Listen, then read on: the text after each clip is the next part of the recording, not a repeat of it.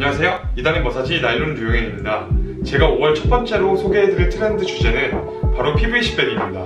같은 브랜드에서 출시되는 일반적인 가죽으로 만들어진 백보다 가격이 저렴하고 투명한 소재이다 보니 봄, 여름 시즌에 맞게 시원해 보인다는 장점이 있습니다. 그리고 어떤 내용물을 넣고 다니느냐에 따라 자신의 개성을 보여줄 수가 있는데요.